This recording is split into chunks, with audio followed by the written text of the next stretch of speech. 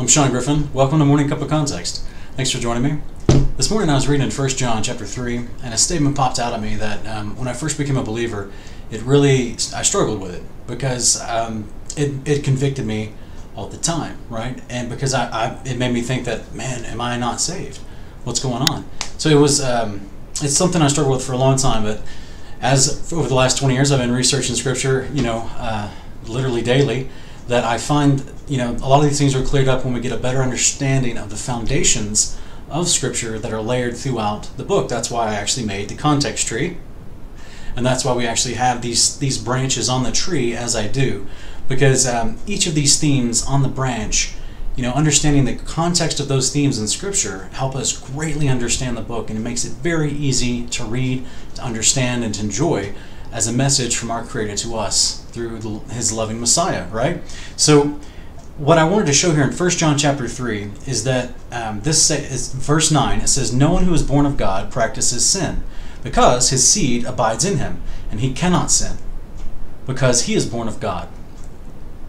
So when I was younger and I read this and it said, you know, the seed abides me, cannot sin, I thought to myself, well, man, I, I sin every day. I mess up every day. I, you know, but what about 1 John 1 9, two chapters earlier, where it says, if you confess your sins, he's just and righteous to forgive you of all unrighteousness, right? Because he's our high priest. And I just thought to myself, well, wait a minute. How do I reconcile these two concepts here? What's going on? And that's where, you know, it took me quite some time and many years and lots of guilt to finally come to this place where I understood the first resurrection. All right? So the first resurrection is an idea that actually, you know, it's all throughout Scripture. It's a part of the covenant. If you haven't seen the two videos I've already put out on it, it's one of the context branches on the tree. So please take a moment um, after this video, go and check out those other videos where I break down the, the idea of the first resurrection from start to finish, from Genesis to Revelation, its implications, how it's described, what's going to happen at that time, when it happens, um, everything from Scripture, so that we can have a better understanding of the paradigm this all throughout Scripture. There's a lots of statements made referring to the first resurrection from the prophets in the Scriptures. And in First John here, um, this one's talking about he who is born of God. Uh, no one who is born of God practices sin because his seed, meaning God's seed, abides in him, and he cannot sin because he is born of God. Right?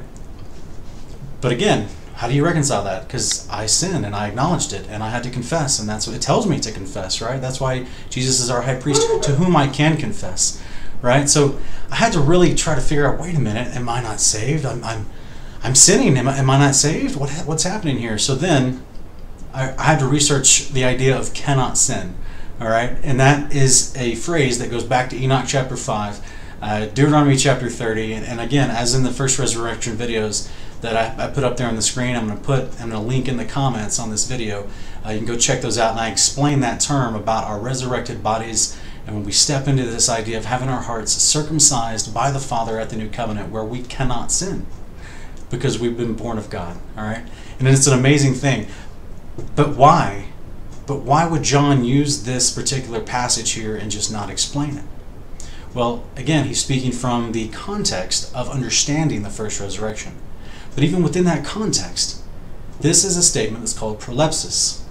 Prolepsis is a figure of speech in which a future act or development is represented as if it's already accomplished or existing. And a buddy showed me this a couple years ago, uh, maybe a year and a half, two years ago. And in addition to my first resurrection studies, man, it just it, it made so many passages by Paul um, and and John and, and, other places in the epistle writings that just cleared it right up. It just it, instantly you knew, oh, they're referring to a future event with the confidence that it's already happened because that's how much confidence they had in the promise of God through his Messiah that the, that it was a finished work it's just going to now the details are just going to work themselves out right? Because he's overcome he's victorious and so therefore it's just now it's just according to the appointed times the father has determined for these things to play out but there's no chance that God's going to fail in his promises. They're already going to happen and they're they're speaking of them as if they're already a reality because that's the kind of faith they're speaking with, right? They understand God will not fail. So that's what prolepsis is as a figure of speech. There's a couple different definitions of prolepsis. Uh, they're all along the same vein, and the, the definition I just gave you is, is usually the second definition you'll find in like a Britannica or you know Webster's or something like that. So in the book of Ephesians, chapter 2, verses 4 through 6, Paul also uses prolepsis. It's pretty interesting. He says, But God, being rich in his mercy, because of his great love with which he loved us, even when we were dead in our transgressions, made us alive together with Christ. By grace you have been saved, and raised us up with him, and seated us with him in the heavenly places in Christ Jesus. Do am I sitting in heavenly places? And no, no, I'm not. I'm sitting in uh, in my home in Colorado, right? So this is very interesting to me that I I how do I take this seriously, right? And this is where people say, "Oh, it's just metaphor, right?" You're in the authority of Christ. You're raised up, and this is where people have taken these and stretched them out into all kinds of unique, interesting teachings. You know what I mean? But I would contend that this is a proleptic statement because we are not raised up and seated with Him in heavenly places until the first resurrection. And that's why Yeshua actually mentions and references in Romans chapter 2 and 3 that he who overcomes, I will give him the right to sit on my throne with me, just as I earn the right to sit on my Father's throne with him. Right? So this is a this is an illusion, this is a reference and a proleptic statement going up to what's going to happen, what's promised to happen. Right? Ephesians chapter 2, verse 8, we see it again. For by grace you have been saved through faith, and that not of yourself. It is a gift of God.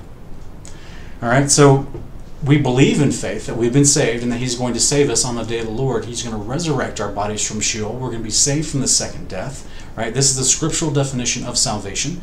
And on the day of the Lord, we're resurrected. We take part in that first resurrection, brought out of Sheol, given brand new spiritual bodies that will, will not be able to sin, that cannot sin.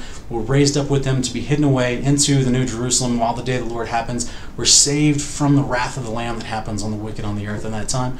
So that is, you know, the, the fundamental fundamental uh, transitioning there of the first resurrection, which encompasses the definition, the scriptural definition of the word being saved. All right he's speaking about it proleptically. In 1 Peter 1 22 through 23, it says, Since you have been in obedience to the truth, purified your souls for sincere love of the brethren, fervently love one another from the heart. For you have been born again, not of seed which is perishable, but imperishable. That is, through the living and enduring Word of God. All right. So I've been born again, not of seed which is perishable, but imperishable. Uh, okay. Well, if I've been born again, I, you know, again, if I take this literally, if I've actually been born again, I'm actually doing an entire separate video of context, morning cup of context on the term being born again as Jesus defines it and Isaiah defines it.